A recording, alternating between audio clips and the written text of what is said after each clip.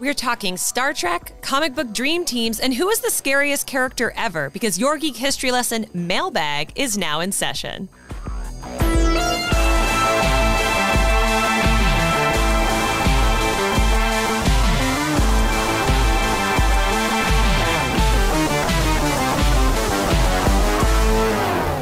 Hello and welcome to Geek History Lesson. I'm Ashley Victoria Robinson. And I'm Jason, who doesn't love stamps, Inman. Welcome to the Mine University. This is Geek History Lesson, the podcast where we take one character, one construct, one book, and teach you everything you need to know about it in a little bit less than an hour, unless it's an episode like today, which is a mailbag episode. That's right.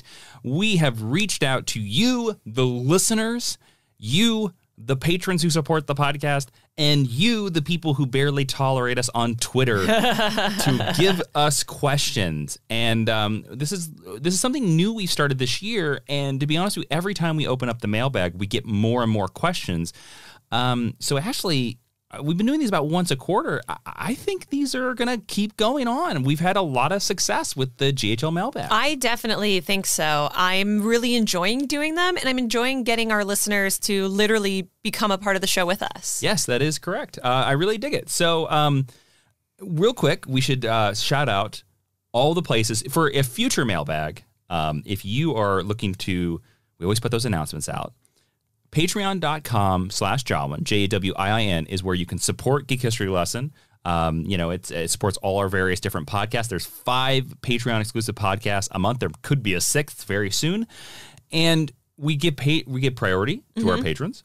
There also is you can send us questions on our Facebook and our Twitter. Ashley, where are those? Facebook.com slash geek history lesson or on Twitter at GHL podcast. Yeah, so go follow all those places because the next time we do one of these mailbags, that is where you're going to see the little post go up. Put all these questions. That's what these people did. Exactly. And they do go up on Patreon before they go up anywhere else. Uh, patrons do get first crack at this. And I just want to say that if you do ask a question and we don't answer it, it's not because we don't like you. It's certainly not because we don't like your question. Sometimes the questions you guys give us, guys, gals, non binary pals, are literally too good. They are too complicated for us to give a short, maybe five minute answer on. So we have parked them for maybe another time, maybe a full lesson. Sometimes it's a topic that someone's already asked a question about. Sometimes, uh, as happened this month, it's a topic that we did a whole Jason and Ashley's Excellent Adventure about. Yeah, so, go check that out on the Patreon. Yeah, so please don't have your feelings hurt if we didn't ask your question. Please We- continue to ask questions because we appreciate all of you joining us. We here. obviously cannot answer them all. no, because there's we get about sixty questions for each of these episodes.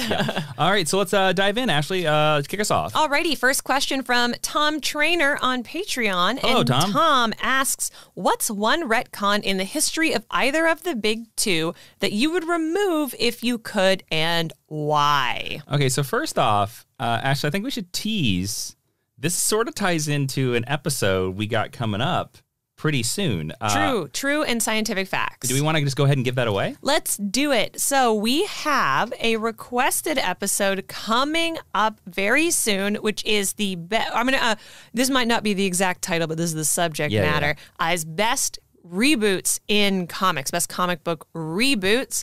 Uh, so, we're actually going to be diving super deep into this topic. And we have a really cool guest returning to Geek History Lesson to join us for that episode. We do, we do, yes. Uh, so yeah, we're going to be talking about best comic reboots. This is hard. Um, I don't think that there is a retcon. And of course, when he's talking about the big two, he's talking about Marvel Comics and DC Comics. Um, I don't know if there's one that jumps out to me. Is there one that jumps out to you? My hot take on this is all of them. All, all of them? because I I really like the Grant Morrison approach, and we talk about this a lot, especially when we talk about Legion characters or Donna Troy or characters who have had a ton of retcons and reboots over the years. I have embraced the idea that it all happened. All of it is in canon, all of it is valuable.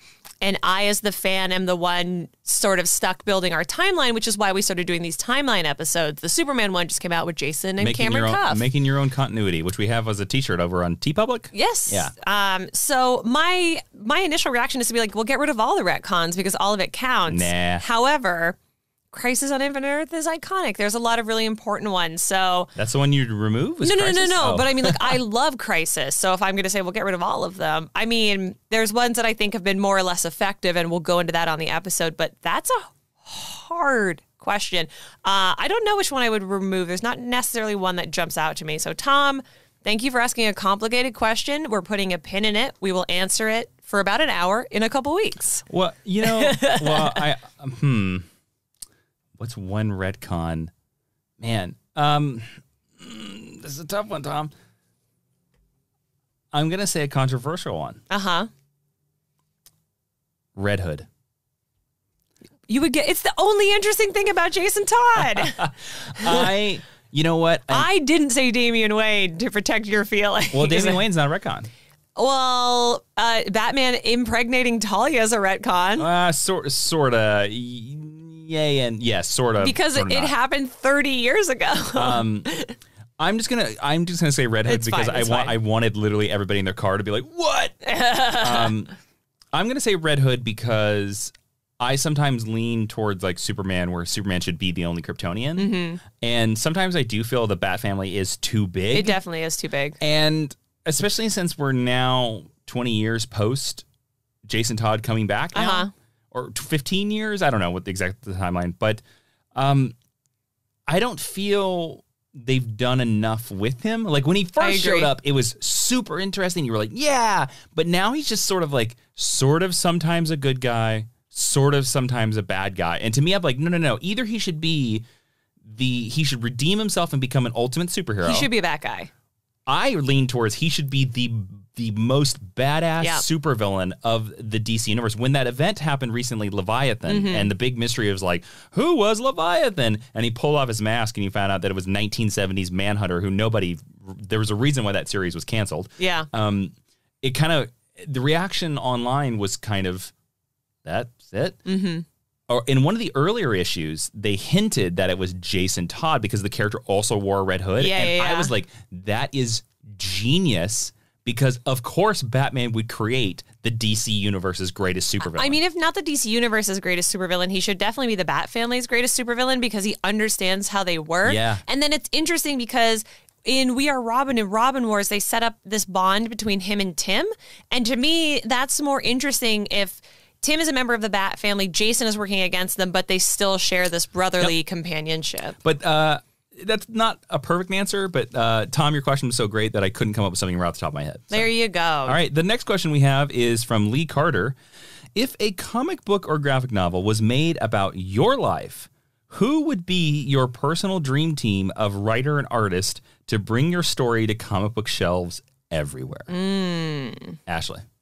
My dream team would be written by Jason Inman. what? because nobody knows me better than you.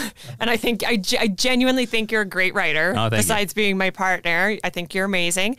Uh, art by Nicholas Scott, Ooh. colors by Jordie Bellaire, letters by Chris Iliopoulos, uh, and edited by Joe Illidge. That would be my ideal uh, production team. Wow, you went full. On the I, I didn't even. Oh boy. I just truly picked all my favorite people who work in those mediums, like the way I build my teams on these episodes. All right. All right. Uh, published by First Second because I'm not going that they're far. iconic. Uh, f- I'm going to say Jeff Lemire. Ooh, you do love Jeff. I do like Jeff Lemire, and he knows about writing about uh, sad boys in small towns. Yeah, And for art, I'm going to say one of my favorites, Howard Porter. Mm, I love Howard Porter. And that's as far as I'm going. Uh, but I will say letters, letters by Taylor Esposito. there you go. Letter of Jupiter Jet. Letter of Jupiter and Jet. also Red Hood. yeah, and Red Hood and the Outlaws. Yeah. We're tying it in, everybody. Every question is going to be tied in somehow. There you go. Our next question comes from Zachary Parkerson, who says, How do we get y'all to teach us more about Star Trek? I've just entered this world with the next generation and must learn more. I'm so intrigued. Guide me, captains. Um, We have several Star my Trek first, My first answer is Google. Uh, Zachary, you're lovely. I'm not making fun of you, but we do have several. We have several episodes on Star Trek. We released one this year with John Champion when Picard came out.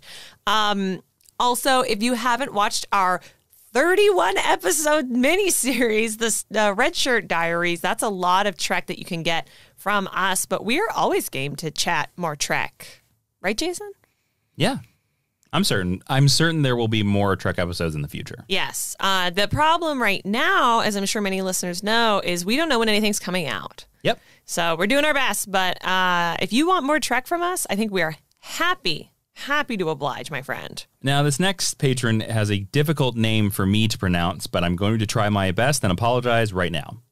Uh, Idongaset Yusin? Is that right? I always assumed it was a play on I don't get it. So I always thought it was I don't gets it.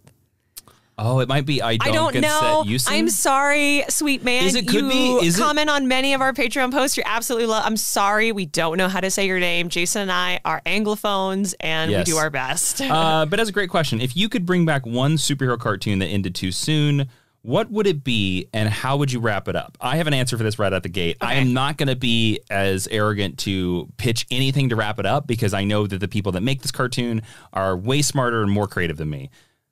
I would bring back Green Lantern. The I knew you were going to say that. Green yeah, yeah. Lantern, the animated series, the Bruce Timm. Uh, he has loosely said that it is in the continuity of his DC universe. It's drawn in his style. It's 3D animated. It didn't get any love because of the terrible Green Lantern movie Mm-hmm. that came out the year before. But Green Lantern, the animated series, is as good as the rest of the Bruce Timm animated cartoons. It is just as solid, and it ends on a cliffhanger. And definitely needs a third season. That's my pick. That is a really, really good pick. And how would it end? Ah, Blackest Night. I don't know. Blackest Night. Uh, my answer to this is usually Teen Titans, the OG original animated series. Mm-hmm. However, they had a really good crossover with Teen Titans Go. And that's kind of the best ending that you could hope for for a story like that. I know that movie is fun. It's really I like that movie. good. I liked It's it way better than I thought we would. Really good. Um, I know a lot of people are hoping that we would say Static, uh, Static Shock, which should definitely come back. I'd rather see a brand new static cartoon. I would rather see a Milestone Universe cartoon. Like, give me Rocket and Icon, and yes, they appear in uh, Young, Young Justice. Justice. but let's be honest, they're background characters. They are. They really are. Rocket gets more to do than Icon, but, not by much. But not by much. Yeah. Um, but I will say that a lot of the cartoons that I really love have very satisfying ending. Uh, Mm-hmm. Gravity Falls has a great final season. So, yeah, that's my well, answer. and also like the, the question for me is like an obvious answer for me would be to say Batman Beyond, but Batman Beyond sort of does get a finale in Justice League. Yes, and you could make the argument if you're somebody who reads the comics that those stories are still being told. Yeah, and there are some really great Batman Beyond comics actually. So Yeah. um, yeah my answer is still Green Lantern the animated series, and second place would be Wildcats. All right, moving on. You don't mean that. The next question do. comes from Noah Dalton, who says, I love your anime episodes. Thank you. Uh, what do you think would be the easiest anime for Jason to get into? My recommendations would be My Hero Academia because it's pretty easy to get into and understand. Also, it deals with heroes. Also, my favorite is Yu Yu Hakusho. I think the spirit detective aspect would really draw Jason in. Also, Trigun for a Western aesthetic. Sorry, this question turned into a list of recommendations. How dare you, Noah? It's very No, it's sweet fine. of you, Noah. Um, it's I, re- I'm I'm I'm intrigued by uh, Trigon. I think I've seen artwork for Trigon. it's a dude. Uh, his name is Vash. He's got like a red coat up to his nose and blonde hair and goggles. Uh, Noah, I will say that is one of the animes that have like every once in a while I've been like, hmm. So this question gets asked to us a lot, and I give Jason a lot of guff about this. But it's not that Jason is not into anime. It's not. It's also that I it, I I do not hate anime. No, it's just no, no, no. not my preferred medium. Yes. Um, the thing that I keep threatening to show him, and I think we'll get to when the movie is on the horizon, is Cowboy Bebop because Okay. I think Cowboy Bebop hits a couple Venn diagrams of things that you really like. Okay. Um, it does have troubling 80s aesthetics of uh, ladies with giant boobies, but All that's right. okay. It's, All right. a lot of our fans recommend My Hero Academia. I know you'll have no problem with it. recommend My Hero Academia for you, which is hysterical to me. I'm actually watching through My Hero Academia right now, and this is. This comment is not meant in disrespect to anyone who worked on My Hero Academia, but I'm watching the English dub so that I can watch it while I work. and I was watching uh, uh, a scene with All Might in it, and Jason came in and was like, "That guy sounds like a parody of a superhero," and I just No, I think it was I- so funny. I think I said uh, he sounds like a parody of an anime. Yeah, yeah, like yeah. It, it sounded like his voice sounded like the English dub, anyways. Sounded like it was one of those comedy skit videos that was making fun of anime. Yeah, because that's not his real voice. That's his like fake superhero Mm-hmm. persona voice. Um, so it's funny because everyone recommends that because My Hero Academia is like what if anime but with Western superheroes. But I don't think it I- would no. be your jam. I, from what I've seen, absolutely not. I think there are I think characters. it would. It, I think it would throw me away from anime for anime forever. I think there's characters you could really like. Like I, I think I could pick the storyline uh, for anybody who's listening. I would show Jason the hero killer uh, mini arc with Ito in it. Um, when he becomes a Ingenium, that's what I think you would really like. But I just don't think. I think you need something a little more mature and sophisticated. And Yep. My Hero Academia definitely is more of like an all. It's like a magical girl sort of vibe. Mm. yeah, I won't, I won't dig it. We'll find one that Jason likes eventually and he'll talk about it. But I mean, you speak very passionately when we do Miyazaki, so it's obviously not that you don't like anime. It's it's it's the other thing, right? That it's it's that we have a, a, a strong listenership of anime lovers. Yes. and it's it's it. For lack of a better term, it's that mob mentality of like you must like the thing that we like, and, Yeah. it's, and it's like, and it's like no, it's it's not that I don't like it. It's just that I haven't been exposed to it as much as you guys have. yes, and someday you'll break down and watch Voltron with me and you'll like Voltron. Sure, eh, we'll, we'll see. Alrighty, what's the next question? Uh, Tylor, which I don't know if that is a typo or actually just Tyler is really cool. Tylor, T Y L O R, said, Have you guys been keeping up with the Dawn of X, the X Men rebranding of the X Men? Any thoughts so far? I know you guys have stated your opinion on how hard it is to get into X Men stories right and how they were treated in the modern age. Is this what the X Men need to be currently, I assume current, and is there hope for a long, consistent run? P.S. I'm quite enjoying it thus far. Is Dawn of X what we're calling post Hoxpox X Men? Yes. Oh, I didn't know that. That is actually what it's branded. well, shows what I know. Yeah, yeah, yeah. Um, I'm really enjoying Dawn of X so far. I will say that I'm only reading the main X Men title, and I'm uh, reading Marauders because Kitty Pryde and uh, Lockheed. I almost said Lockjaw and Lockheed are everything. I am reserving my judgment on uh, X of Swords, which some people tell me is is going to be Ten of Swords because it's based on the tarot card. Um, because I'm just not an events person, so I always wait to see what people's opinions are on the events. But I would say that I think this is the best X Men has been since the first arc of Marvel Now when they first brought the old X Men to the future. Because I really like that, and then I think that really fell apart around the trial of Jean Grey, Battle for the Atom. Um, so I'm really enjoying it so far. I don't. To the, to your question about is there a, a hope for a long consistent run? I'm going to be real real with you, uh, Tylor. I think unless you are reading an independent comic or Batman, I think there is no hope on anything for a long, consistent run, just the way that the current marketplace works and the way that we have seen the big two um, model their series on now. That doesn't mean that it won't happen, Yeah. um, especially because at least the X X Men book, the main X Men title, is very successful. Uh, it's getting a lot of great buzz. But I, I think that is a difficult thing to hope for when uh, big multimedia companies owned by bigger multimedia companies are involved. Um, but Jason, I'd love to hear your opinion because you're the only reason that I'm reading these books. Um, I'm enjoying it so far. Um, I'm only really reading the X Men book, the one that's written by Jonathan Hickman. Um, I think so far they're doing okay. We are getting to a point with it that I'm like something else needs to happen because I still feel like we're just dealing with setup. Mm-hmm.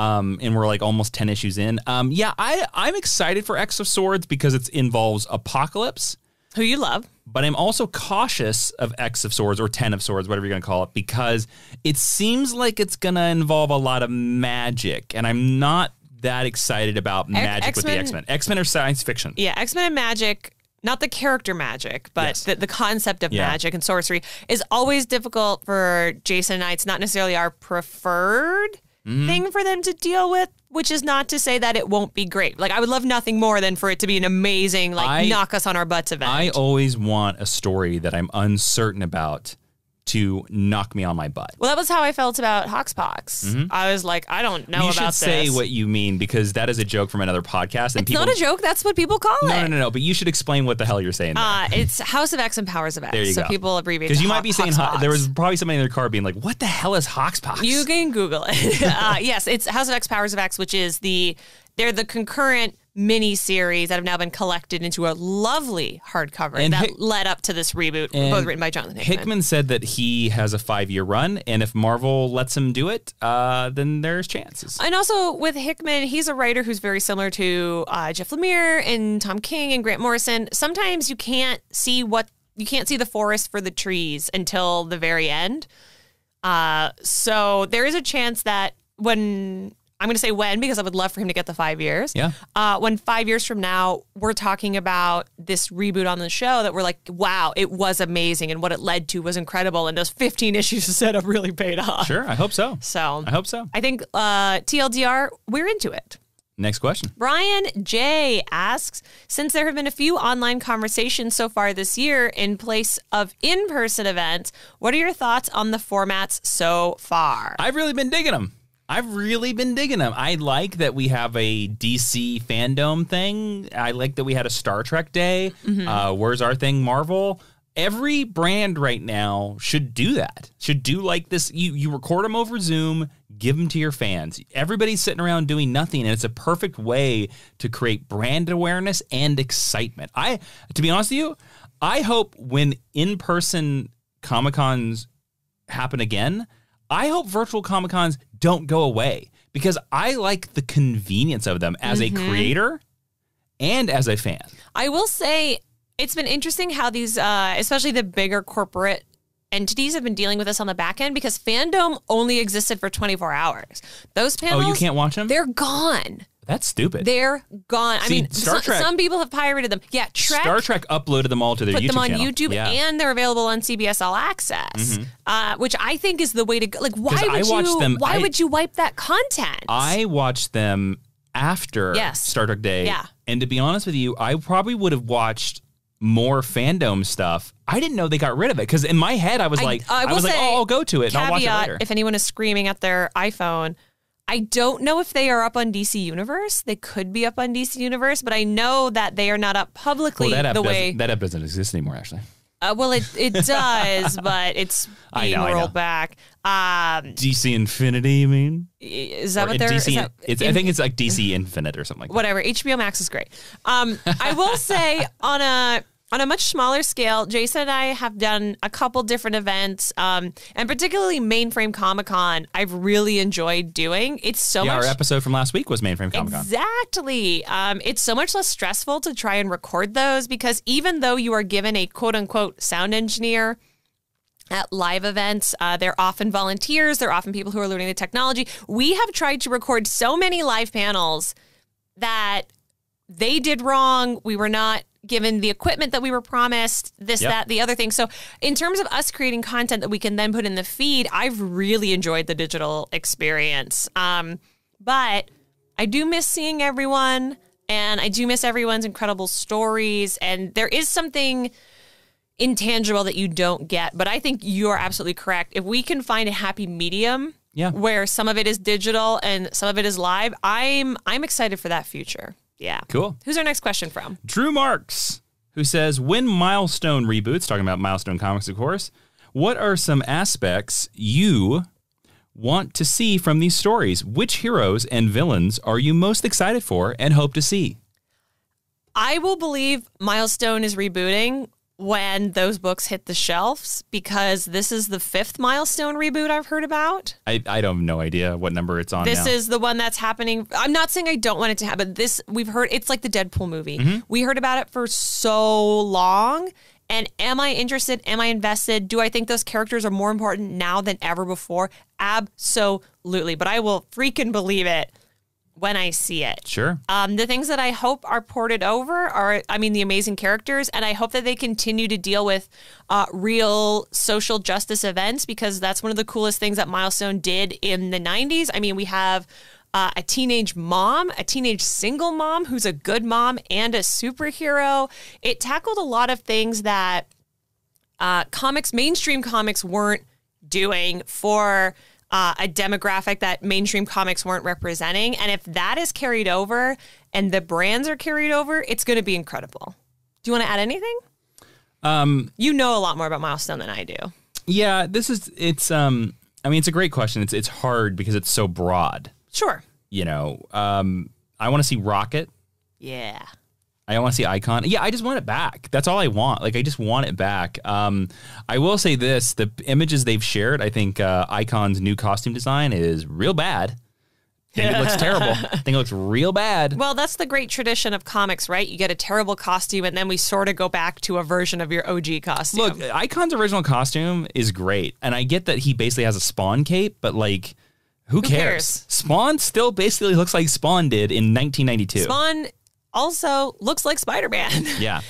uh, so to me, because they gave Rocket her exact same costume, and Yeah. they changed Icon's costume. yeah, yeah, Um, but I'm kind of with you. I'll believe it when those books come out next year. yeah. But until then, I, I'm very excited for it. I actually reread Icon this year, and guess what? It totally holds up and just stops too. They just cancel the book in the middle of a storyline. That's good because I reread Static. I read Static rather for the first time uh, two years ago, and oh boy, do they use words that we don't say anymore. Here is the secret. And of- I'm a very delicate white lady. here is the secret of the milestone universe and what a lot of people that don't have not read the milestone universe don't realize is that icon is the best book Mm-hmm. icon is actually Static has the most brand recognition because of the cartoon. because of the cartoon the cartoon, the cartoon is not the comic. no it's not the con- everybody loves static because of the cartoon Yeah. but the best milestone book was always icon Interesting.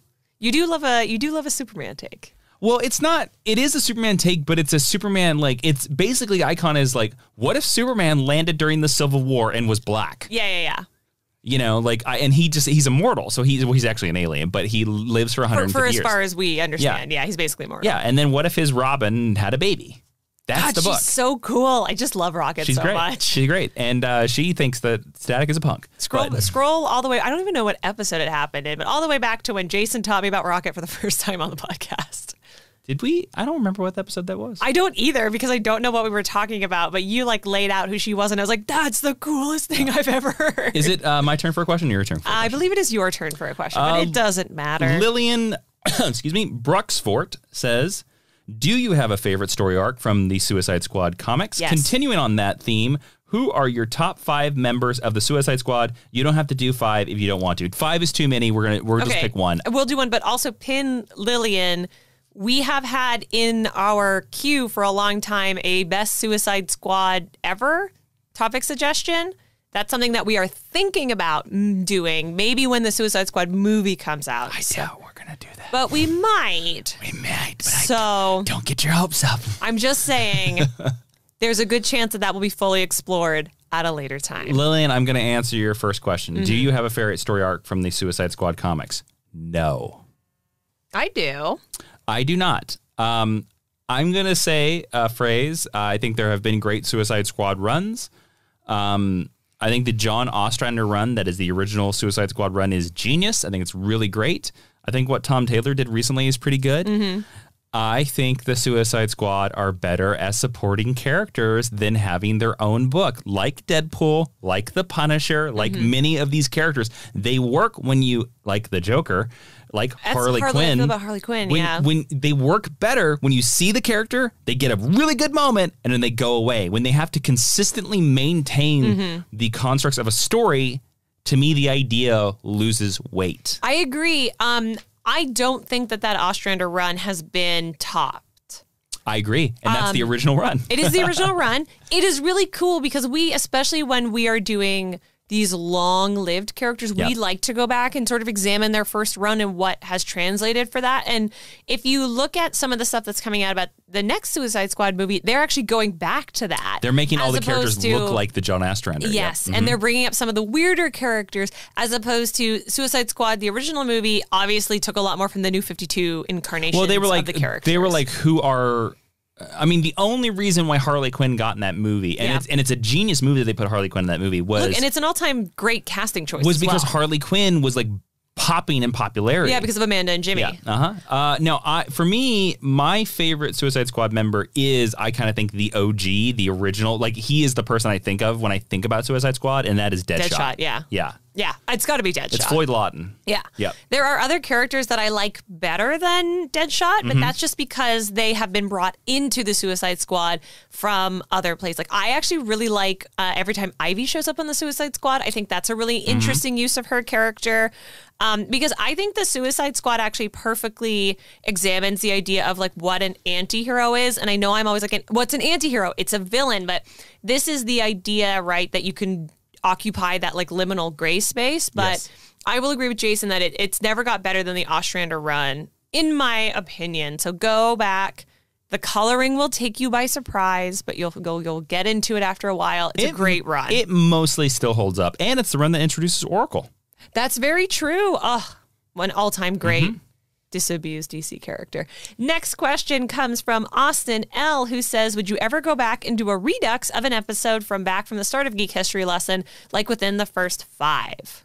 Jason, So this is something that we talk about quite a bit um, because we honestly don't know how we would do it. Mm-hmm. Because think about it. If we were to release next week's episode is Nightwing, right? And it's the second episode of Nightwing. What would we call it? That anybody would that I brand because we like the idea that you can be brand new to Geek History Lesson and you can basically listen to every episode. and you can open up your little search tab and you can type in Yep. Nightwing." Mm-hmm. And then that episode will come up, or you can type in Robin, and Yeah, the so Damian Wayne episode. so I don't up. know what we would title it out like Mm-hmm. Nightwing 2.0 makes no sense to a new listener. Yeah. Or, or I mean, you could call it Nightwing Part 2, sure, Mm-hmm. but then you're automatically telling the listener, oh, I'm not going to listen to that, a brand Mm-hmm. new listener. So to me, that is a big problem with me because I do believe, just like comic books, every co- issue of comic books could be somebody's first comic book. Every episode, every episode of your podcast could be somebody's first episode, and I Mm-hmm. don't want to like cut anybody off at the teeth. Yeah. Now, obviously, we've done series, but we always say at the beginning of each of those episodes, like, oh, if you haven't listened to the X, you should probably go back. We also always do them in order. Yeah. We do like Spider Man 1 Um, and 2. So I don't know. I, I also will say that, Austin, um, this is going to happen no time soon because we still have so many.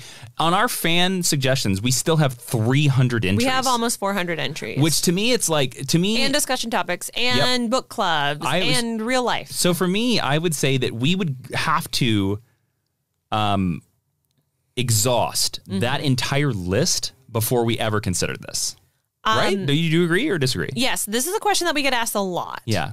And first of all, thank you for asking because it means you want us to go back and talk about some Yeah. of these characters again. Austin, Like, what, what is- episode are you wanting a sequel to? That is so flattering. It's uh, Winter Soldier and Nightwing are actually two of the ones that people ask us to do the most.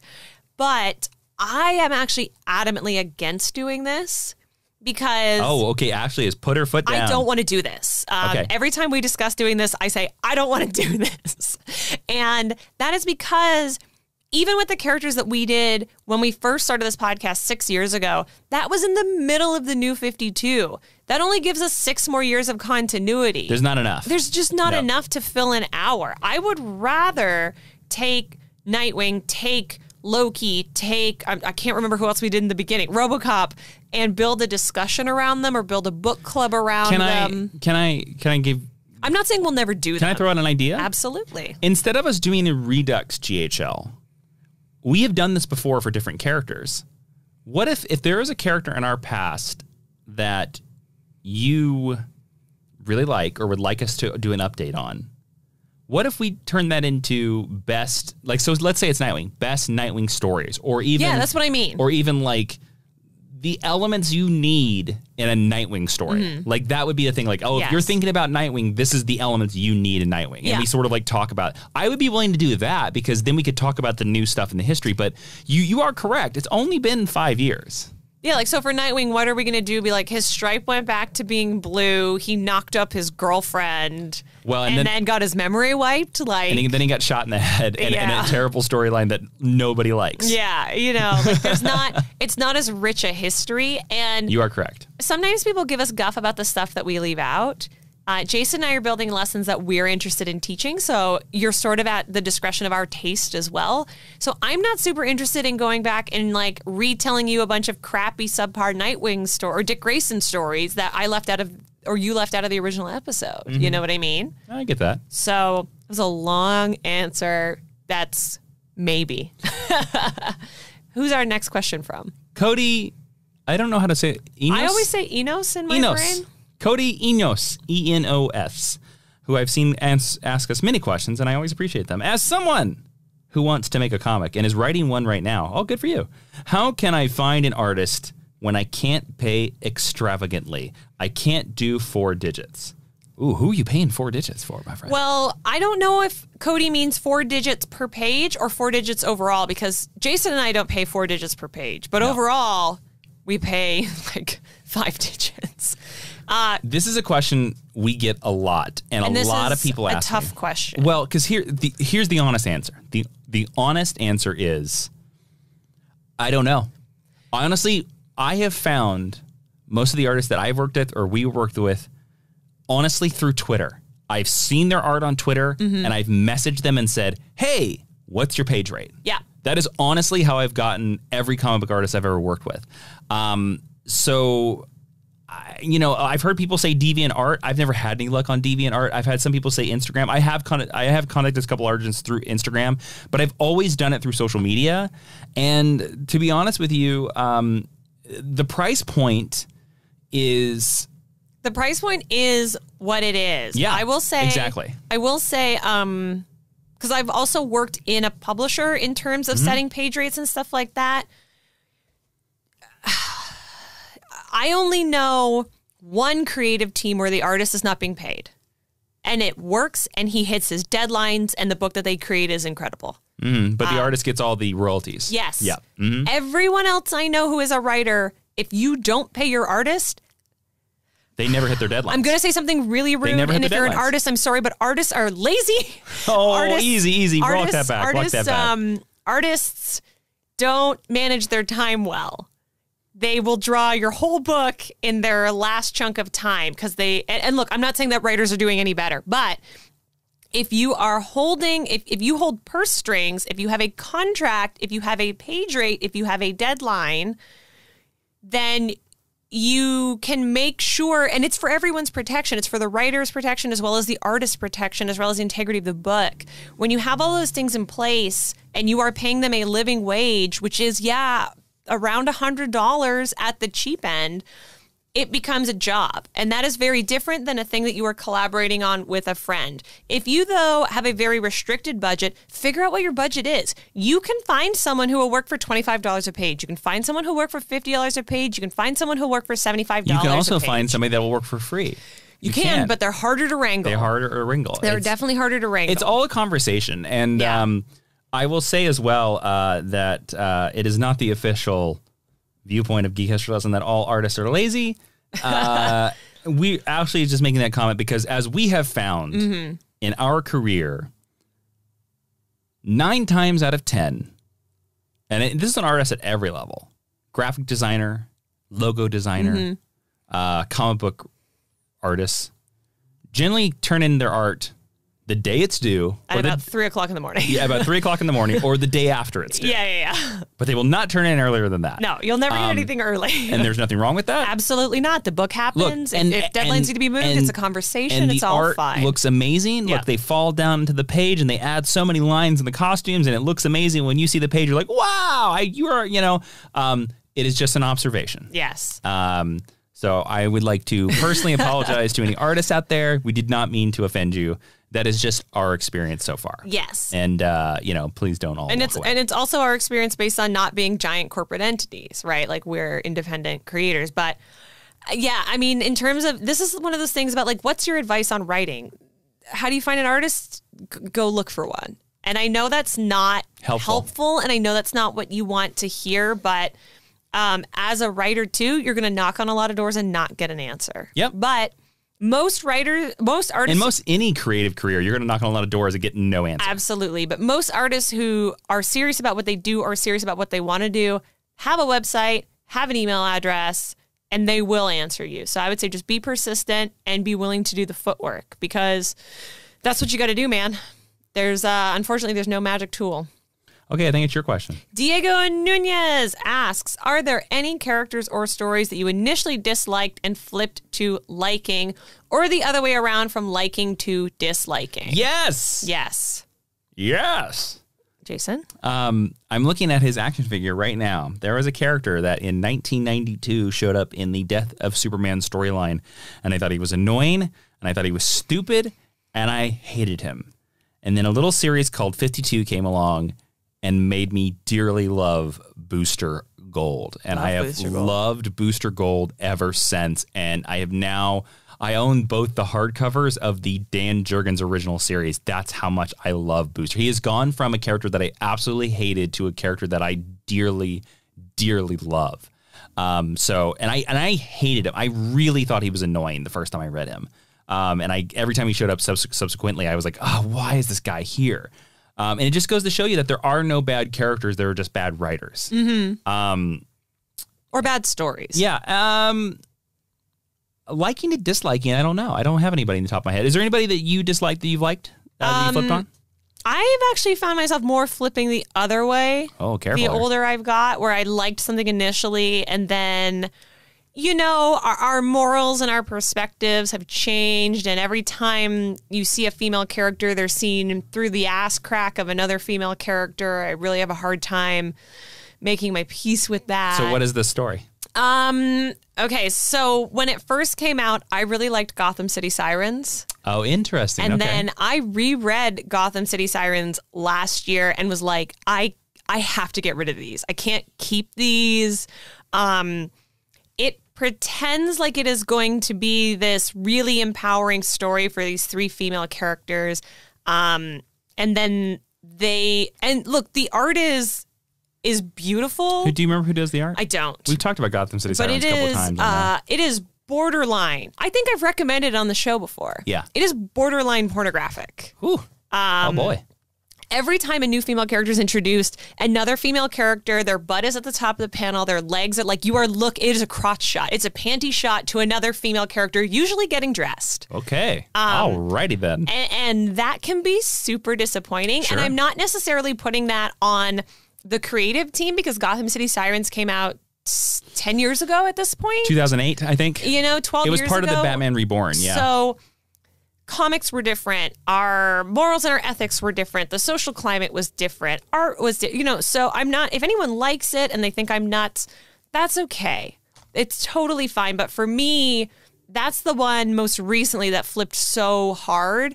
And the older I get and uh, sort of the more, I don't know, the more of a woman I become, I take issue a lot and I can really like, the more of a woman. well, I mean, compared to being like a little girl reading I comics. get it, I get it. Um, Yes, I couldn't think of a better way to phrase it, but, but even 12 years ago, you were not a little girl. I mean, I was not legally an adult. oh, that's true. All right, never mind. So- sorry. Sorry. So, like, I, the, the easiest thing to like get me to turn on a comic is to is to have the female characters not treated right, and it, that was a book that I I really loved, and some beautiful images have come out of it, but also some like it's also deeply exploitative in a way that I'm not comfortable with anymore, All right. unfortunately. well, there you go. I answered the first part and Ashley got the second. There you go. Let's move Our on. next question comes from Adam Grunther, who says, "Who would you say is the scariest character that isn't from a horror movie? Easy. God? God. Why did you go to God? God's pretty scary. He'll smite you with like fire and I mean, stuff. he's pretty scary in AMC's Zeus? Preacher. Um, Zeus no. will steal your wife. I- I'm going to give you two. Okay. I'm going to give you two. There's a recent one and there's an old one. Okay. Um, there's a tie for the old one. Mm-hmm. The old one, I think, is a tie between two Sith Lords. I think Darth Maul is a very scary looking character. I think Darth Vader is a Yeah. very scary looking character. Now, I know the context of their story changes them, but just from an image based perspective, they are two scary looking dudes. And I've always said since the Phantom Menace that I always felt that they should not have killed Darth Maul or resurrected Darth Maul mm-hmm. for the second of the prequel movies because I've always had the theory that Anakin, before he became Darth Vader, should have killed the monster that perpetrated his nightmares. And he saw Darth Maul when he was like 10. And you're telling me that guy with horns and looks like the devil wouldn't stick in his mind? Um, now, the most recent scary character, and this is all due um, to the actor's performance, who I'm desperately going to try to look up here really quickly as I vamp. Do do. It, stop with it. No, that's not how you vamp, Ashley. Pretty um, sure I'm crushing it right now. This is all due. This is a character that I thought was scary in the comics and, you know, powerful, and you had to worry about him. But this actor has turned this character into a terrifyingly strange and terrifyingly scary character. And it's all his performance. And I am talking about Homelander from The Boys, mm. as played by also fellow Kiwi Antony Starr. Mm. Antony Starr has like elevated Homelander much, much more in a way than the comics ever did. Again, he in the comics, Homelander was kind of like the Hulk. He was just this guy where he like he did scary stuff, he planned scary stuff, but it was one of these things where like he could just kill everybody. But Antony Starr really makes him psychotic and mm-hmm. really makes it like that kind the of guy where you can hack off his arms? no. Okay.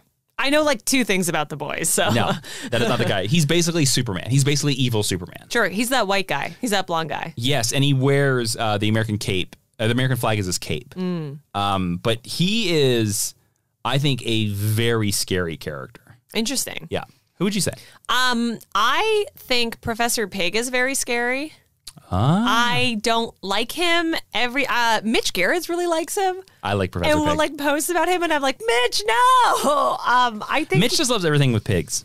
I like piggies. Yep. but like little piggies, Miss Piggy. I don't like. Pro- Is, I- is I Miss Piggy and Professor Pig going to get married? Find out next next week in DC Comics. He doesn't deserve her. Also, she's owned by Disney.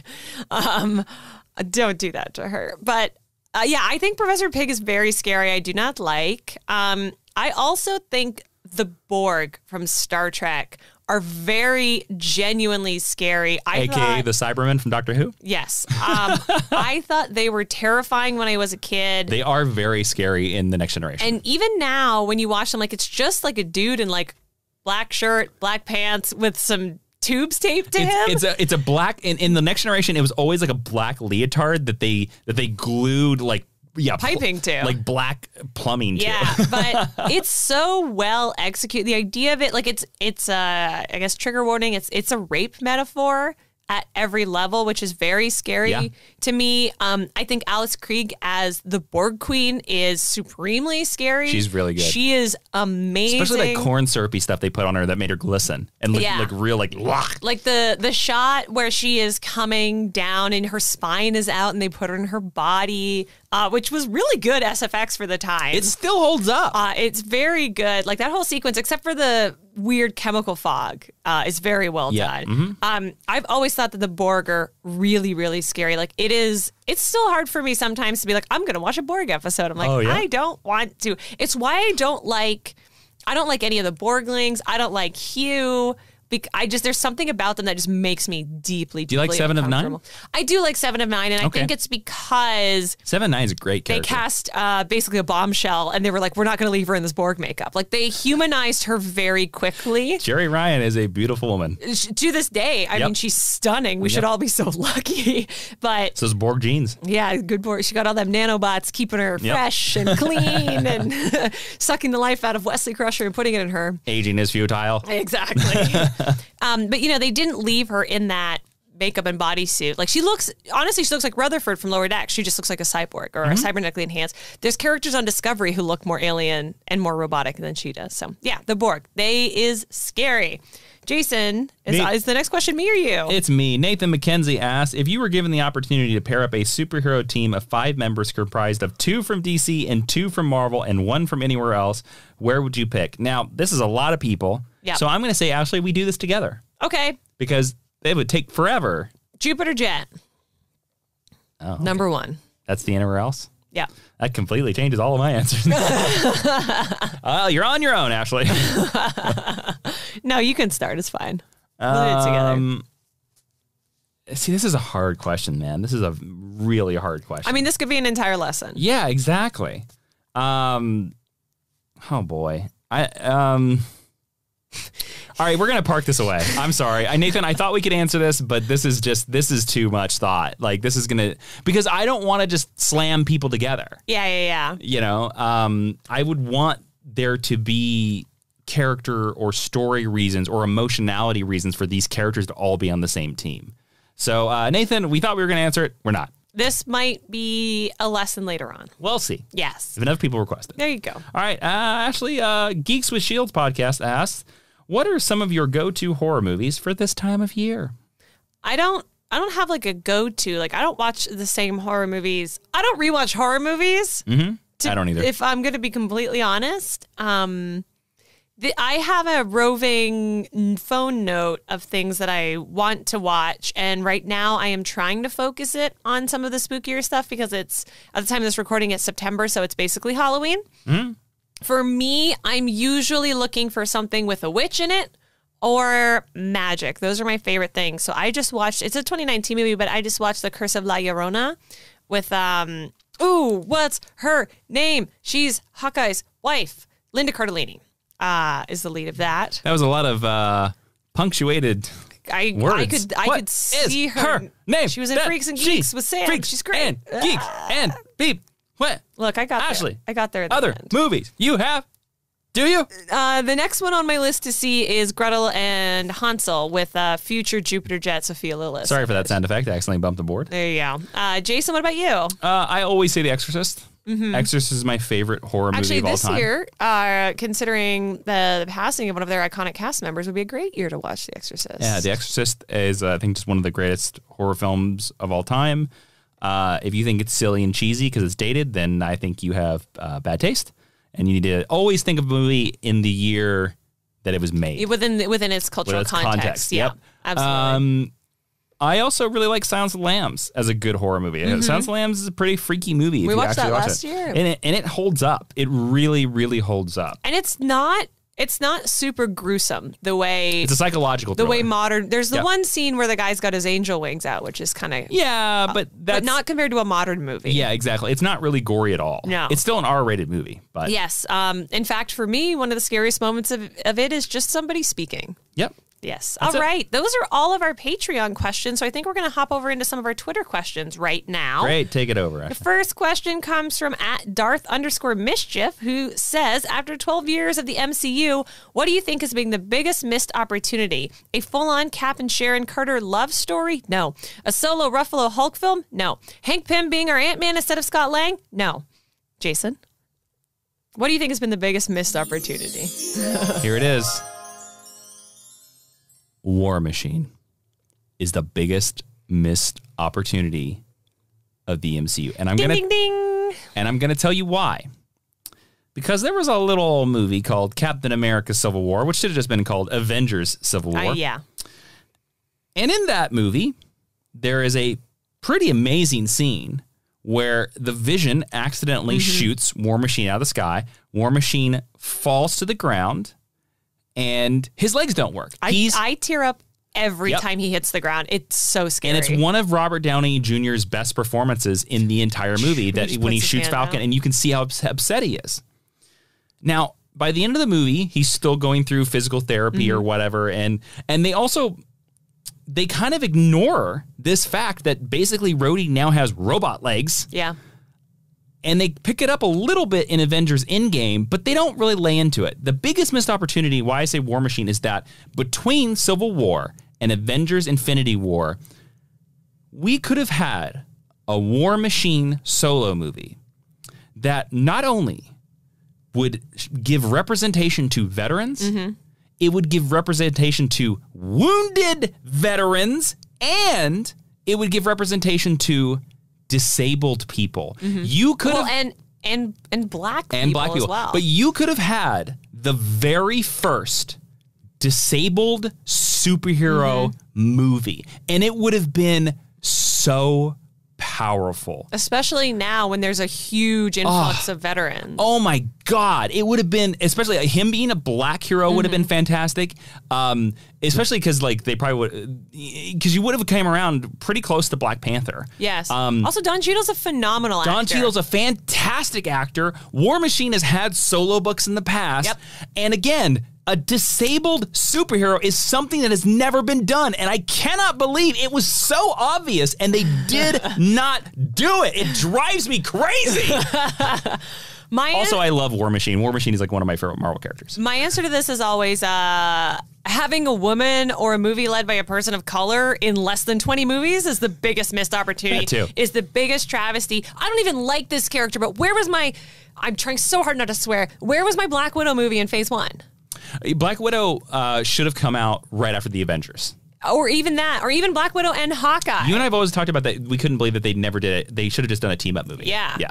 Uh, so there's been, it's so funny because uh, Anthony Perez gave us a lot of great options here for missed opportunity, but I was like, I don't care about any of these options. like, Yeah. those are not things for me that I hang on to. If those are other things that people would like to see, they're totally valid. You're also you're also going to see from us is that um and a lot of people will disagree with me and please come to, at me on Twitter because you're going to come at me on Twitter no matter what. Um the MCU is very homogenized. yes. A lot of the movies and uh, the next question we're going to get is very is very talking to this and we'll get to that in a second. Um a lot of their film follow the exact same pattern. Yeah, it's Iron the Man. exact. It's Iron Man one, just redux, redux, redux. Yeah. You can almost predict a Marvel movie now to the beat. Which was why you and I were so excited about Doctor Strange Well, and Doc- Black Panther. Well, Doctor Strange and Black Panther both they follow that for the beginning and then they kicked it away. yeah, and it's uh, it, actually the Doctor Strange is the magic version of that, and Black Panther is the science version Yeah, of that. yeah, and and so like anytime, that's why I like I that's why I like Infinity War more than Endgame Mm-hmm. because it like the villain wins and you're like whoa. Yeah, but it's also a movie, right? Like Endgame. Well, let's not. I don't even want to open that door because I don't. To be honest with you, after 12 years in the MCU, I love the MCU. I'm a little tired of talking about the MCU. Yeah, yeah, there yeah. are better movies out there, and I want to talk about them, and I want to watch them. I don't need to watch Avengers five more times. I'm good. yeah, yeah, yeah. Um, I believe that the Avengers will win at the end, whether I watch the movie or not. Okay.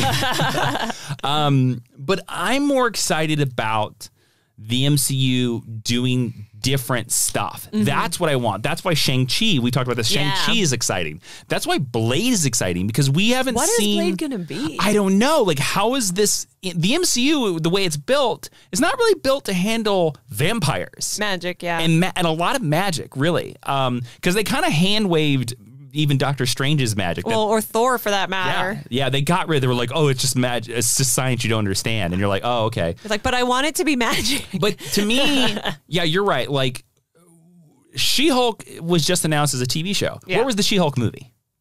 Well, 12 years. let's be completely honest. Let's be absolutely like cards on the table honest. The DC, uh, the DC, the Disney Plus streaming shows are the ones that they are not sure can carry a movie. Exactly. It is an audition piece. Exactly. For a movie. It is. It is. Because like Miss Marvel could have carried her own movie, um, Absolutely. and it would have exploded like Black Panther. Moon Knight would have been the same thing. Yep. You are. You are. And I don't even care about Moon Knight, but I know Moon Knight could have carried his own movie. you are exactly right. But I will still go back to War Machine. Yeah, you're absolutely because not even DC in the comic book. See, here's the thing: War Machine in the comic. Some people books. might make an argument that Cyborg is a disabled character. that is a very fair point. uh, but Cyborg has not led his own movie. And I think it's becoming very clear that he will not be leading his own movie. well, and I'll tell you what: if that's the route that Warner Brothers decides to go, and they lean into that uh, as a disabled hero, I mean, also, I, honestly, I'd love it. also a black man. That's you know, um, I think that is something that neither universe has done yet, and it's something that I have not seen done yet. Yeah, where's Oracle? Yeah, exactly. And I think it would be something really powerful. It would be so powerful, especially again being a wounded combat veteran. I agree. Um, and you know, more ladies. More ladies. Yeah, where do they say that? Uh, okay, next question, Ashley. at Kiefer underscore XJ says, with the hype around Joker 2019, the more or less cookie cutter style of the MCU films, and the DC universe still finding its footing, what are some character stories and IPs that could more or less by I think it's be different. be different from what the movie going audience would expect from a comic book movie? well, we were just talking about this. Uh, you know, a disabled hero. Um, Yeah. Would be something that you would not expect. Uh, I don't really know. This is this is a tough question to answer as well because this is a this is a question that's like you know plan a movie studio slate and you're Yeah. like and, and, and I- and I don't know how to do that on the spot. I actually think in some ways we need to look at what comic book movies were before comic book movies were cool. before the MCU. because I would say even before X Men or Spider Man, Interesting. Um, I would even give you like that far back You want to go back to Batman Forever time? uh, because the year of and 1995. some some of these happened later. But if you look at Road to Perdition, if you look at History of Violence, those are two books based on two movies based on Vertigo series, based on comic books, um, that were treated and executed like Oscar-worthy film projects. And I think it's in those standalone graphic novels, like. Um, first thought, not a perfect thought, is like, where's the Capote in Kansas movie adaptation? Like, there are these standalone graphic novels that could really function um, as a big budget drama. And I think that's where we need to go with comic book movies, or we need to be okay with subverting the expectations of the genre. Like, I have never seen this movie, but like, Kick Ass is completely the opposite of I love that movie. I know you do, of Iron Man, right? And that's why people liked it because it's not cookie cutter. And I think the more Also, he's a screw up. yes, He's an ultimate you're screw up. allowed to Yep. fail, right? In the Marvel Cinematic Universe, you're not going to fail. The most you're going to do is like make a fool of yourself at a party. Yeah, for a character named Kickass, I believe he gets his he gets savagely beaten several gets his times. ass kicked yeah, several he does get his ass kicked. And and I also think it you have to open up to um some of the YA content that's coming out. And I'm not just saying that because Jason and I write YA, but the most exciting stuff that's coming out of DC right now is DC Kids. Uh, well, I'm gonna say something um, that kind of taps on the beginning of his question, the hype of Joker 2019, and part of the reason why the Joker movie was so successful was one because the fandom for Jokers and clowns is huge, but second is because they shot it like an Oscar worthy movie. With an Oscar nominated, I don't think he's won. who? Joaquin with an Oscar nominated Joaquin won the Oscar. for Joker. Yeah. No, but I mean before that, had he won before that? Oh, so like when they cast no, him, he he, was nominated. He was nominated for Gladiator. Yeah, but they like they picked top quote unquote right because top Well, this- tier talent. Like they didn't cast a nobody. Well, the and, and the movie is shot beautifully. It is a good-looking movie. Mm-hmm. Um, whatever you think about that movie, like that, that is where I think you should go, and that is something I would like to see from the MCU because you are correct. The MCU cinematography is not great. No. Every movie kind of looks the same. yeah, Um, every movie score kind of sounds the same, except for the ones that are scored by Michael Giacchino. He's the best. Um, he's the best. He's so nice. but like, and I get that because Disney has, and the MCU is looking at it as like, we got to fill four movies a year, pump it out, pump it out, pump it out. they've also we and you know we're part of that as consumers. Mm-hmm. Like they've proven that the bar that's where the bar is set. They they can prove they can make a billion dollars Yeah. with that. That's what I would like to see. I would like to see more stuff like Logan. I would like to see Yes, more stuff Logan's a great example. um like Joker. I would like to see more stuff. I would even put Wonder Woman in that. Sure. I just, I to be honest with you, I don't need every movie to be connected. I would rather the movie by its singular self be strong and be good. I don't care if it ever gets a sequel. Mm-hmm. Because if it's good enough, I'll walk out of that movie being like, I don't need the sequel because that movie is good enough. Yeah. And that is something as fans, especially in this gimme, gimme, gimme, gimme, gimme, everything at our fingertips on the internet and streaming, that is something that the modern internet consumption culture doesn't understand. They always think that more is better. And it's like, no, no, no, no. It has never changed throughout human creation of art. Less um, it's always quality over quantity. And more quantity means less quality. That is never changed ever in human civilization. And so it's so it's so funny to me that that like we still don't understand that and modern fandom is like give me give me more, give me more, give me more. It's it, it's like the ultimate argument that'll feed into a future podcast with the argument of should HBO's Watchmen have a second season? Yeah, I'm yeah, yeah. fervently against a second season of that show So am I. you know, because why do we need more? The story is done.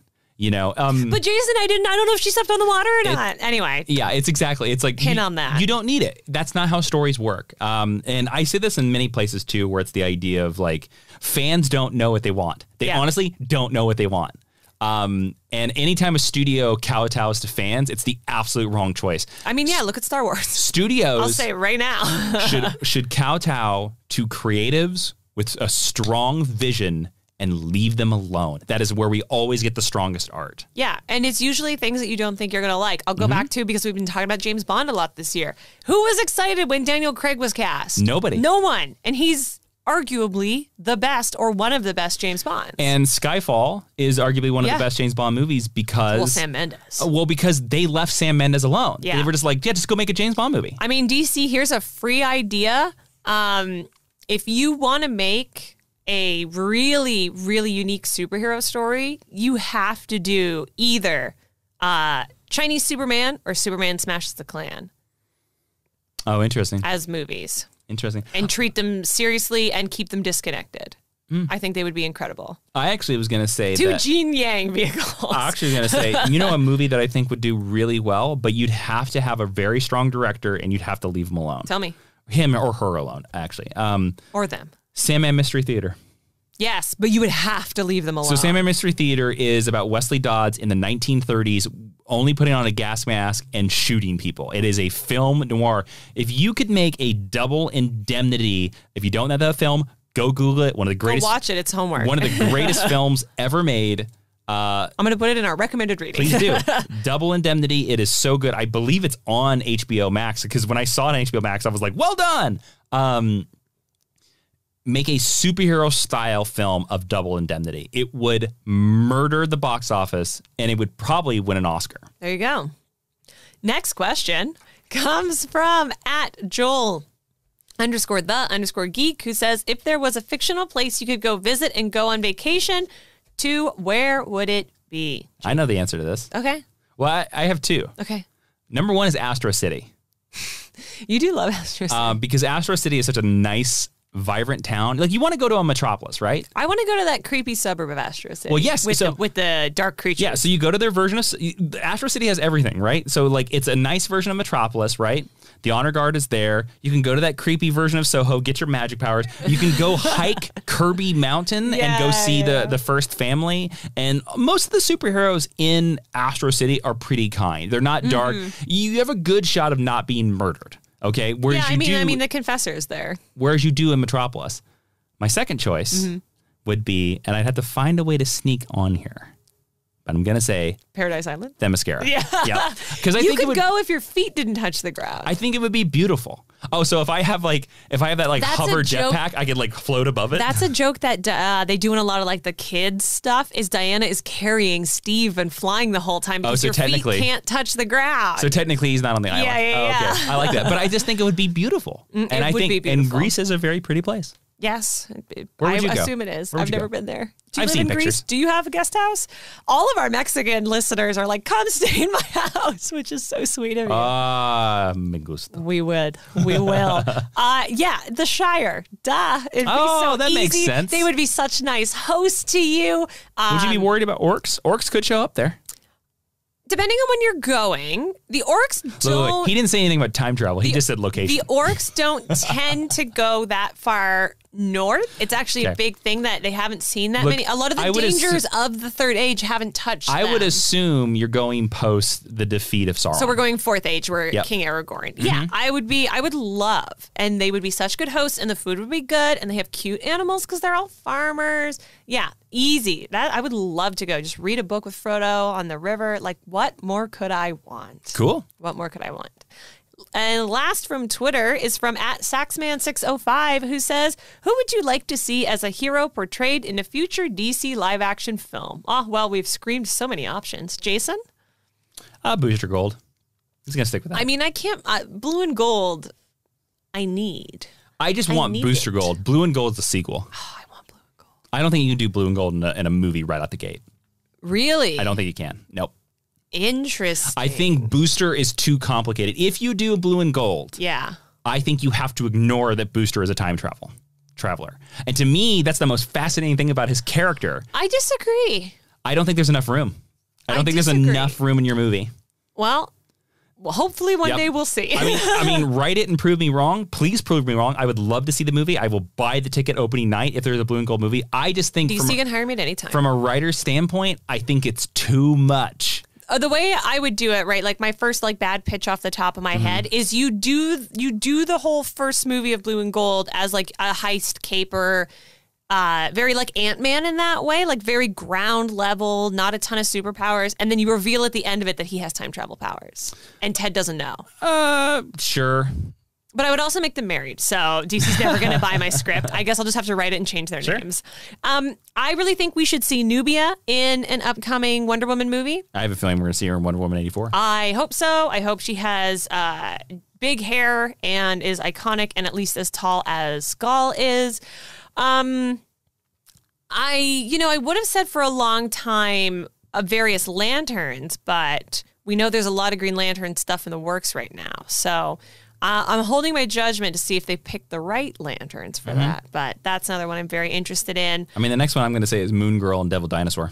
That's a Marvel book. I don't care. I'm throwing it out there. She's so cute. I need to see her on live stream. I cannot believe we don't have an animated Moon Girl and Devil Dinosaur that's like for very young kids, like in the vein of Magic School Bus. You know what's crazy? It's even crazier that there's not some sort of Marvel app game that is Moon Girl and Devil that's Dinosaur. educational. That's educational. Also, like lets you play the level where the dinosaur just smashes stuff. Yes. Well, my thought for a long time, because everyone wants Riri to show up in Black Panther as like Shuri's intern or Shuri's assistant. Yeah. Um, and I get it because she's like a very smart black girl. I think that's really cool. But I want it to be Lunella. And Lunella is like one of the smartest people. I think she's the smartest person in the Marvel universe. So I want her to go on a summer program to Wakanda so bad. I have a prediction, crazy prediction. I, I've always thought that they're going to introduce Riri Williams Ironheart in Spider-Man 3.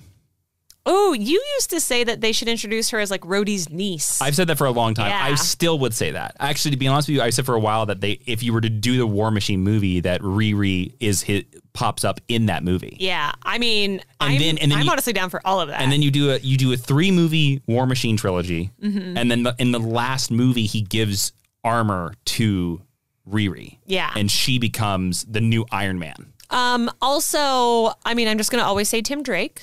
And I saw somebody say on Twitter that Justin Min should play him, which I thought was a really interesting casting choice. Uh, I don't know that actor. you do. He's I? he's been on the Umbrella Academy. oh, to play Tim Drake? Yeah.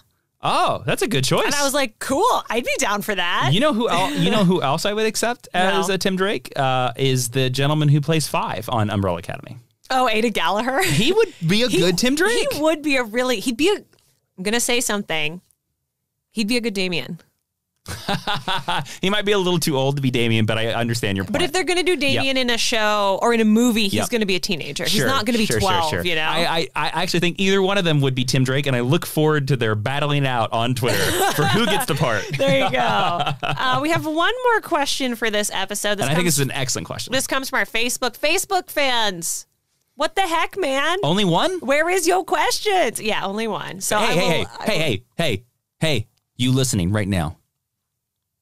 Look, I know we all kind of hate Facebook right now. I'm right? actually fine if you all want to move over to it- Twitter. It's fine. yeah, yeah. I mean, I get it, but like, if you if you're still on Facebook, why don't you go over to facebook.com/slash lesson?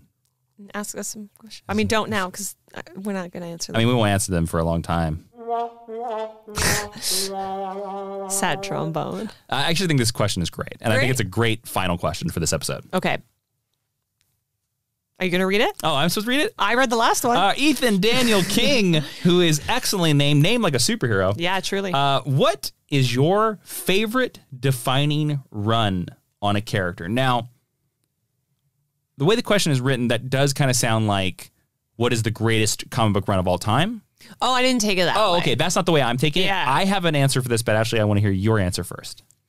So this is a bit of a tough question for me because there are runs that I dearly love um, where the people who worked on them are not good people, or it's come out that they're not good people, and that has colored my feelings about the runs. Not about the characters necessarily, right. um, but it's put me in a position where like I wouldn't necessarily say that I'm happy promoting them. Interesting. Whereas in the past, we have definitely recommended them. yes. Um, so favorite defining run on a character. I'll give you one for a character that I don't like. Okay. Um, because You don't have to. no, but I, um, I'm going to give you some other ones. But I, I, because Jason and I talk about how there are no bad characters, right? There's only bad stories, or Yep. there's editorial meddling a lot of the time. Any character can make a good story, even Ambush Bug. So I want to take a character that I often say that I think is overused and I don't like, and give you an example of what I think is their best run. Okay. Harley Quinn Oh boy. is for me an exhausting character. I would like her to go away for like 25 years and not come back. I know that that's not going to happen. And I've said on this podcast several times that I would rather park the Joker away and let the Harley take the Joker's place. So it's, I would, I would much rather see I would her rather as her- a full Yep. villain. I would rather her be full villain and Batman has to deal with her. I don't. It's the same issue that you brought up with Jason Todd. I don't like this like half stepping. Yep. But um, when you leave creators alone to work in their bubble, they can do magic. And um, the best, one of the best things that Tom Taylor did, and it's been taken over by other writers as well, is Injustice. Yep. Injustice is uh, Brian Buccellato was the follow-up writer. I. Yes. Yep. I wrote an article for DCComics.com about how uh, Injustice might be the best Elseworlds ever told. I think that's a very true story. Boy, did people ever come and fight me on that. We already did Best Elseworlds, right? We did, yeah. Okay. Yeah, that was yeah. a good episode. It was a good episode. but yeah, because I said the ultimates. and you were like, I didn't even think of the ultimates. Oh, that's so weird. um, Harley Quinn in Injustice is awesome. She is tragic. She is complex. Her romance with the Joker and Ivy really makes sense. Her redemption into becoming a hero makes sense. Um, so when I think about runs that like really redefined or defined a character for the first it always comes to mind for me because I I'm so tired of Harley, which is not to say she's a bad character. I've just hit my meter with her. And that really presented her to me in a way that I thought was fresh and new and interesting. And Tom Taylor actually did that on another character that I don't really like, Jean Grey. In X-Men Red, I for the first time understood like what's the deal with Jean Grey? Why do why do I care about her? Why do people like her? Why should she be alive? And I think that those are in a lot of ways greater achievements than me sitting here um, and telling you that like uh, Batgirl Year One is a really exceptional Batgirl story because that's something that we all know. That's a character that we all know that I love. So those are two that I wanted to mention. Um, I also want to shout out um, the Superman arc right at the beginning of Rebirth. Uh, with Superman family because Superman's a character that I struggled with a long time. I came to really appreciate after I met Jason and he put the right books in my hand. But for me, that's my Superman. Is like Superman married. It's the same with Spider Man. I want him to be like married with a kid and a happy life. So I would say post post Rebirth, Superman Rebirth Volume One. What are some defining runs that you love, Jason? Uh, well, I am going singular. Okay. Because he said, "What is your favorite defining run?" well, you know what? I'm greedy. Yes. Um, I am going with. For me, there is no other answer besides the first solo run on Nightwing by Chuck Dixon and Scott McDaniel. It is the first Nightwing ongoing series. He had a mini series before it and a special, I believe, but it's the series that ran for like 130 issues before Batman Reborn canceled it because he became Batman. And then yeah, there was a couple other series after that, but no other Nightwing series has ever, ever captured the quality of the first original run. It's the run where it introduces Bloodhaven, mm-hmm. or as the debate uh, is Bloodhaven. as It's some people. Bloodhaven. Um, uh, Mr. Dan Jurgens claims it is Bloodhaven. Uh, well, per the German pronunciation, it should be Bluthaven. So, but Um, but anyways, uh, it's the first time that town was introduced. Nightwing has to go there, and he has no support. He has no Batman, nobody else, and he can't depend on the cops because the cops are just as corrupt as the criminals. And it introduces uh, who I think is one of um, Nightwing's greatest rogues, Blockbuster, who was an old Batman villain that they retconned and made him smarter and better and whatever. Um, and literally bigger. it is the run that made me love Nightwing. And I think it is the run that if you are ever like, ah, I didn't like Nightwing or I don't like a Robin, I would, I would vastly, uh, or excuse me, I would Highly. highly, excuse me, highly suggest you read that run. And it's all collected in soft covers now. The entire, they finally collected the entirety of the Chuck Dixon run, and uh, they keep going on. Uh, Devin Grayson follows that run up. So does Peter J. Tomasi. It's a Devin great, Grayson's work on that run, I think, is underrated. that series from start to finish is solid. Mm-hmm. It is such a good series. It's never been completely collected, and I'm hoping that eventually they get around to it. Now, if I were able to say a second place, I would say Judd Winick's run on Green Arrow. I thought about that. I also thought about Mark Waid's Flash. Mark Waid's Flash. Or Impulse. I mean, I would also argue that Ron Marz's Green Lantern Kyle Rayner run is pretty solid. I mean, I think it's between, and it's your taste in lanterns, Mm-hmm. right? It's between Ron Marz and obviously uh, Geoff Johns. Geoff Johns Hal Jordan Yeah. is pretty character defining as well. Um, but for me, I always think of that Nightwing run. When I think about um, a character and like how a run defines that character, Mm-hmm. that is the run I always think about. Yeah. Also, that era of Batman is like our personal favorite. It's the best. it's the best. the best. All right, well, that's it. Um, by the way, um, if you've enjoyed any of our thoughts about comic books and all this other rigmarole, uh, I would suggest you to go check out some of our books over at www.jasoninman.com slash store, where you can buy signed copies of Jupiter Jet, the Ringo-nominated Science, the Elements of Dark Energy, Please and vote for it if you are Presser Pro. and um and Super Soldiers. super soldiers. Um, sorry, you really knocked me off my my, Sorry. my soapbox there. Uh, a salute to the comic book heroes and villains who fought for the country. My nonfiction book about the secret connection between the military. All the copies are signed, and we uh, always throw in little extra swag and stickers and bookmarks. You never know what you're gonna get. I will say, if, if people really liked um, Jason's impassioned speed about Rhodey, as the person who got to read every incarnation of Super Soldiers, the James Rhodes chapter of Super Soldiers is one of the best ones. Oh, It's thank you. So good. I like Rhodey a lot. He's great. All right, let's uh, let's move into recommended reading. Uh, that, of course, is where you go over to our website at geekhistorylesson.com slash recommended reading. You can find everything we suggest. I think uh, this is just going to be a hodgepodge of stuff we talked about this week. Yeah, we're going to grab some stuff like Double Indemnity, Astro City, Nightwing Volume 1, Injustice, X Men Red, a lot of the stuff that we mentioned. I'm going to remember to put over there. Cool. And now we're going to go into the honor roll. Ashley, what's that? The honor roll is where if you go to Apple Podcasts or in my computer, as it's still called, iTunes, and you leave us a five star review, we will read whatever you write. And we have. If you are an international Mind University student, take a screenshot of your review, email it to geekhistorylesson at gmail.com so we can share it. We don't have access to your Apple podcast, but we love and appreciate you. We ask you to do this every podcast because you doing this means we get bumped in the algorithm. More cool people can find us. And you're just helping us continue to do more discussions, continue to make more geek history lessons, and uh, just live our best podcast life. So we have two people joining the honor roll today. First is Dave G7777, who says, as an old school comic book geek, um, I mean, fan. I love listening to Ashley and Jason discuss graphic novel characters and stories from all eras from the golden age to the present. These two hosts have great chemistry together, and their discussions are both insightful and hilarious. I especially love Jason's three sentence explanation of Crisis on Infinite Earths. Highly recommended for any graphic novel fan. There's your applause, your quick three second applause, or actually probably one second applause. Uh, they are also joined by Kelvin too, who says fun banter and info. Great listen and enjoy the rapport between the two hosts. As a near deaf individual, I am very grateful for the clear, strong voices of the hosts, neither of whom I have difficulty understanding. Kelvin, that's so sweet. That's very nice. I'm glad you can hear the podcast. I'm also glad that us being uh, loudmouths has paid off in a really helpful way to our listeners. I love that. You're welcome. Thank you.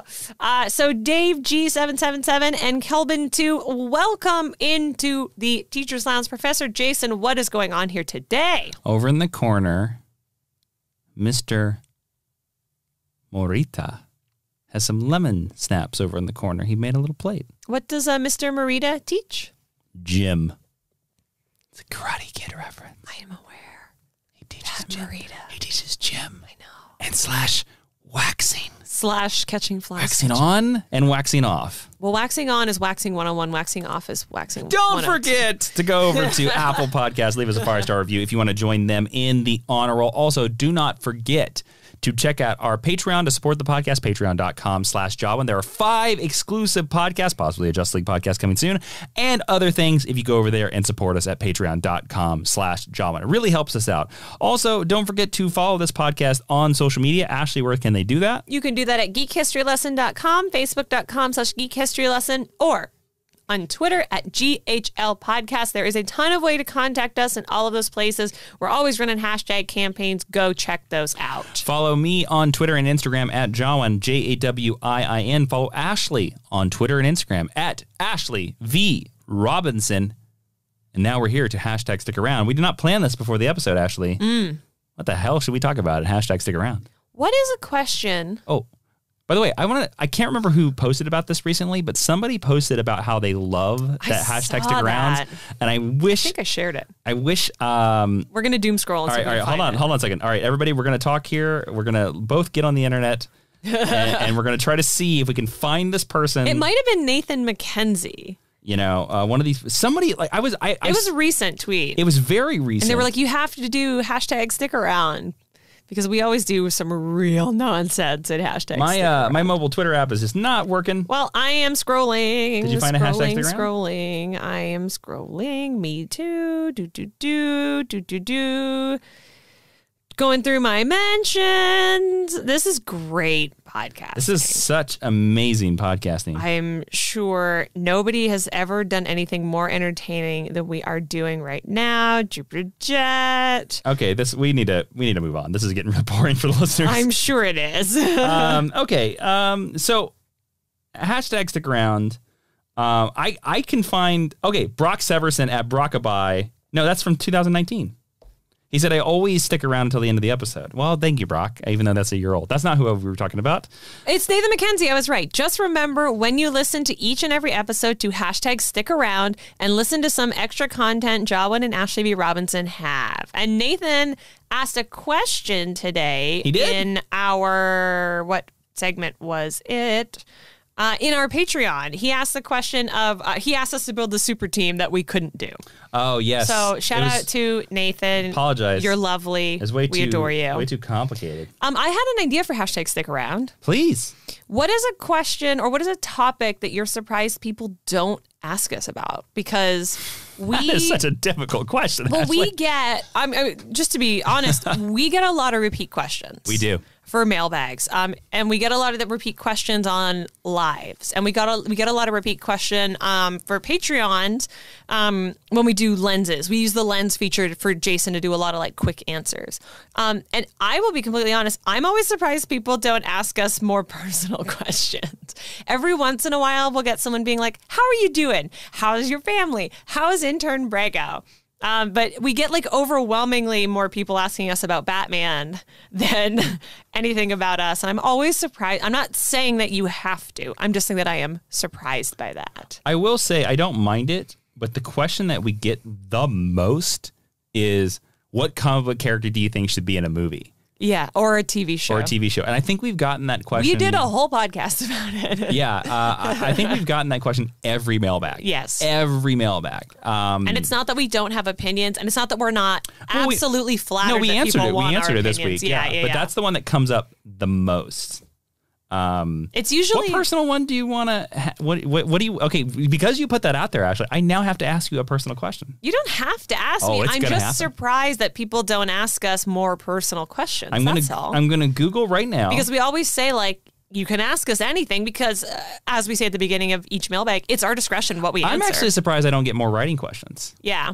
Would you like to get more writing questions? I would. I would love to get answer more And, questions. and by writing questions, you mean not pitch me a flash movie. You no, because like I'm not doing that. you mean process questions. Yeah, I mean, like, inspiration questions. I would love to be like, yeah, people to be like, well, who do you think like has a successful character arc in a superhero movie, or what villains do you think actually work, or What are tropes that you like to what use? tropes do you like? What tropes do you hate? Mm-hmm. Like, you know, like what is the most overused Superman trope, or what is the most overused Batman trope, or like what do you think is necessary for a great Batman story? Like what elements? Mm-hmm. Yeah. How I do you write for an artist? because that's where you get to like real interesting conversations whereas uh, you know like other questions like you just stay surface all the time and, and it and it just is not as interesting there so you go. um okay ashley um i just went to personal questions to ask people and gonna give you this Okay. question question number 17 from this weird website i'm pulling it what small things make you happy uh jason at Jawiin on twitter at GHL podcast. What small things make you happy, Ashley?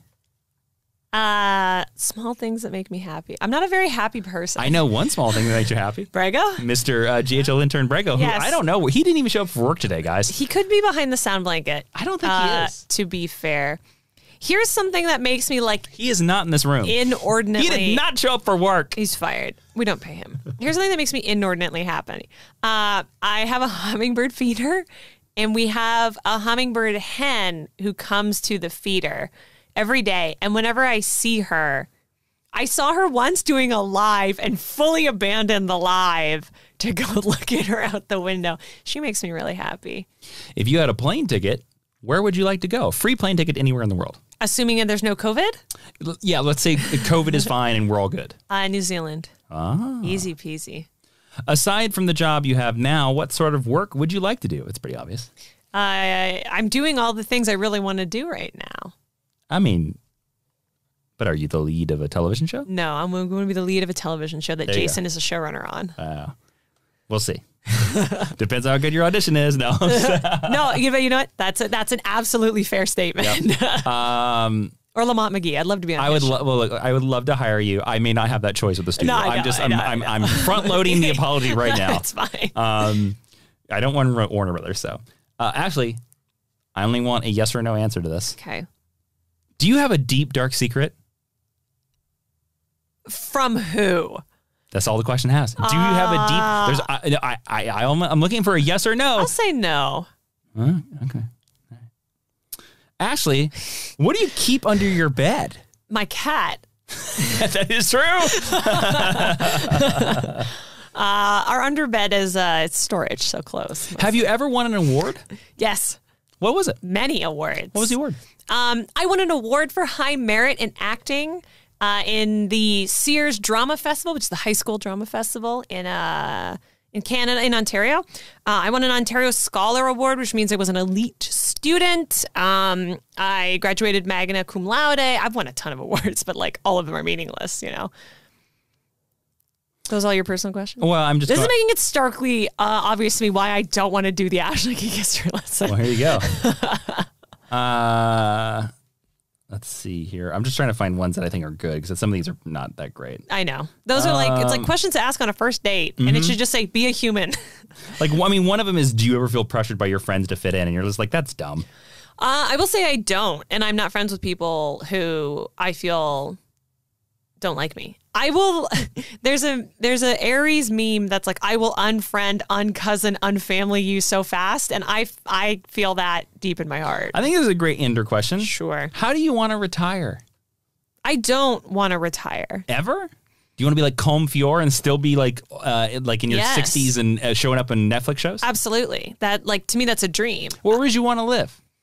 If I could live anywhere, No, I'm not looking for a specific location. I'm just like, what kind of atmosphere do you think you like? Do you think you'll retire in a city? Do you think you'll retire in the country? um, I like cities. okay. I like cities. I like escaping to the countryside, but I like cities. If I could live anywhere and and get the call and get like flown to LA or New York or Toronto or wherever to work, um, I'd love to live in Scotland. Cool. So, Sweet. Do you? When do you want? When do you want to retire? Do Uh, you want this, to retire? this is not about my stick around. Uh, this is about Ashley Victoria Robin stick around, and that is it for this podcast. Such a butt. well, thank you so much for your amazing questions in this extra long geek history lesson. I am Jason. No personal questions for me. Oh my then God! I'm Ashley Victoria Robinson and Professor. I'm not personal. Uh, will you please dismiss the class? I will say, I'll put it out right here. We don't know what we're doing for the GHL Extra. I will literally hand you this iPad. You could ask me these same questions if you wanted to make that. I wonder if we did like 200 questions. Remember on Jason and Ashley? Did we? Yeah, and like at the beginning of last year. And do you think these are the ones? I wonder if these are the same questions. We'll find out. we'll find out. All right. Thank you so much for listening. Class is dismissed.